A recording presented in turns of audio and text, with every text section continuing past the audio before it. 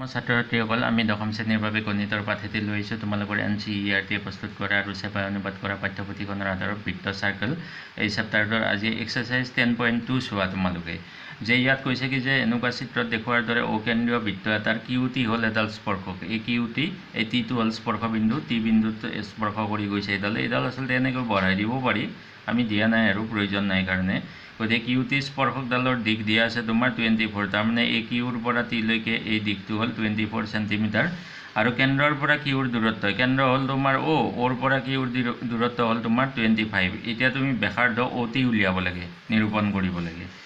এতিয়া আমাৰ এটা উপপাদ্য আছিল কি যে আমি জানো যে বৃত্তৰ স্পৰ্শবিন্দুলৈ টনা বেসাৰ্ধৰ ওপৰত স্পৰ্শকডাল লম্ব।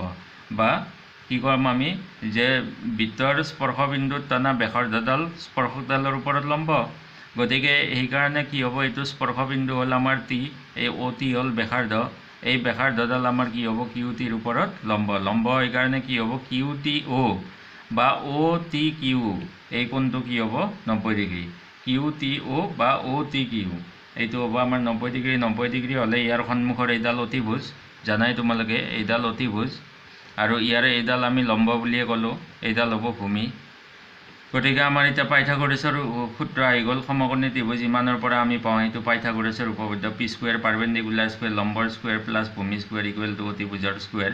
গতিকে লম্ব ইয়াত কি টি কিউ অ' টি ক'লোঁ আমি অ' টিৰ ওপৰত স্কুৱেৰ ভূমি হ'ল আমাৰ কিউ টি কিউ টিৰ ওপৰত স্কুৱেৰ আৰু আমাৰ অতিভুজ হ'ল আমাৰ অ' কিউ অ' কিউৰ ওপৰত আমি স্কুৱেৰ দিলোঁ।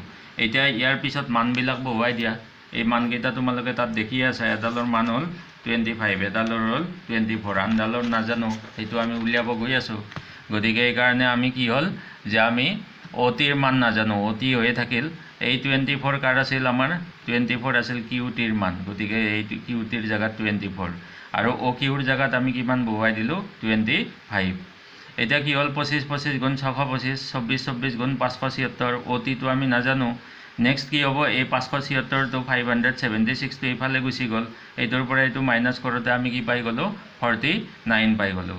গতিকে ফৰ্টি নাইন মানে কিমান? ছেভেনৰ স্কুৱেৰ গতিকে সেইকাৰণে আমি কি পাই গ'লোঁ? অ' টি ইকুৱেলটো কিমান পাই গ'লোঁ? ছেভেন পাই গ'লোঁ। গতিকে নিৰ্ণয় শুদ্ধ উত্তৰ এ নম্বৰটো এইটো অপশ্যনেল আছিল। এ বি চি ডি দিয়া আছিল। গতিকে এ নম্বৰটো হ'ল তোমাৰ শুদ্ধ উত্তৰটো। এতিয়া আকৌ দুই নম্বৰটোত দিছে কি চোৱা? দুই নম্বৰ অংকটো যে অকেন্দ্ৰীয় বৃত্তৰ টি পি আৰু টি কিউ দুডাল স্পৰ্শক। অৰ্থাৎ কি এইটো টিটো হ'ল বহিবিন্দু বহিবিন্দুৰ পৰা আমি দুডাল স্পৰ্শক টানিব পাৰোঁ আৰু এই দুডাল স্পৰ্শক সদায় কি হয় সমান হয় সেই কথাটো আহিব লাহে লাহে।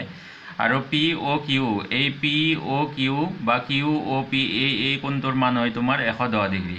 তেতিয়াহ'লে আমি কি কৰিব লাগে আমি এই বাকী এইকেইটা কোণৰ মান আমি নিৰূপণ কৰিব লাগে বা এইটো কোণৰ মান আমি নিৰূপণ কৰিব লাগে। এতিয়া আমি কি কৰিব গৈ আছোঁ আমি? যে আমি এটা কথা জানো সেই তেতিয়াৰ নিচিনা যে বৃত্তৰ বেসাৰ্ধডাল স্পৰ্শবিন্দুলৈ টনা স্পৰ্শকৰ ওপৰত লম্ব হয়। বা বৃত্তৰ এডাল স্পৰ্শক সেই স্পৰ্শবিন্দুত টনা বেসাৰ্ধডালৰ ওপৰত কি হয় সদায় লম্ব হয়। গতিকে সেইকাৰণে আমি কি কৰিম?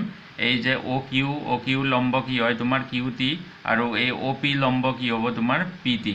গতিকে এইকেইটা আমি লিখি ল'লোঁ। অ' পি লম্ব পি টি আৰু অ' কিউ লম্ব কিউ টি। মই কৈয়ে দিলোঁ ইতিমধ্যে।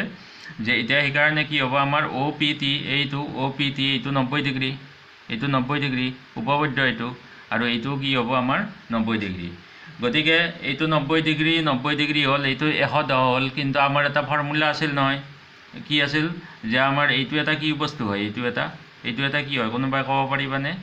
এইটোত চোৱা চাৰিটা বাহু আছে এক নম্বৰ বাহু দুই নম্বৰ তিনি নম্বৰ চাৰি নম্বৰ গতিকে ই এটা চতুৰ্ভুজ চতুৰ্ভুজৰ কি হয়? চতুৰ্ভুজৰ চাৰিওটা কোণ মিলি আমাৰ কিমান ডিগ্ৰী হয়? তিনিশ ষাঠি ডিগ্ৰী হয়। গতিকে চতুৰ্ভুজৰ চাৰিওটা কোণ মিলি তিনিশ ষাঠি ডিগ্ৰী হ'ল। এই কোণবিলাকৰ নাম আমি এনেকৈ লিখি গ'লোঁ। এইটো কোণৰ মান নব্বৈ ডিগ্ৰী চাই লোৱা তোমালোকে হয়নে নহয়? এইটো অ' পি টি ইয়াত টি পি অ' লিখা গৈছে। টি পি অ' একে কথা। এই অ' পি টি বা টি পি অ' এইটো হ'ল আমাৰ নব্বৈ ডিগ্ৰী। এইটো এশ দহ ডিগ্ৰী দিয়া আছে চাই লোৱা তোমালোকে পি অ' কিউ আৰু এইটো হ'ল তোমাৰ নাইণ্টি ডিগ্ৰী সেইটো চাই লোৱা সেইটো সেইটো নাইণ্টি ডিগ্ৰী এতিয়া আমি এইটো এইটো আমি নাজানো উলিয়াম আমি হা এইটো আমি উলিয়াম উলিয়াব গৈ আছোঁ। গতিকে আমি এইটো তেনেকৈ ৰাখিলোঁ আৰু এইকেইটা আমি প্লাছ কৰি দিলোঁ দিলে দুশ নব্বৈ পালোঁ। এতিয়া দুশ নব্বৈটো সিফালে লৈ যোৱা মাইনাছ কৰা কিমান হ'ব? কিমান হ'ব ক'ব পাৰিবানে? এই দুশ নব্বৈটো সিফালে লৈ যাওঁতে মাইনাছ কৰোঁতে হৈ গ'ল তোমাৰ ছেভেণ্টি ডিগ্ৰী অৰ্থাৎ পি টি কিউ সেই কোণটোৰ মান হৈ গ'ল তোমাৰ? ছেভেণ্টি ডিগ্ৰী আৰু উত্তৰটো হ'ল বি নাম্বাৰটো শুদ্ধ উত্তৰ। গতিকে এইকেইটা তুমি তোমালোকে লিখি লোৱা। আজিলৈ ইমানতে এৰিছোঁ।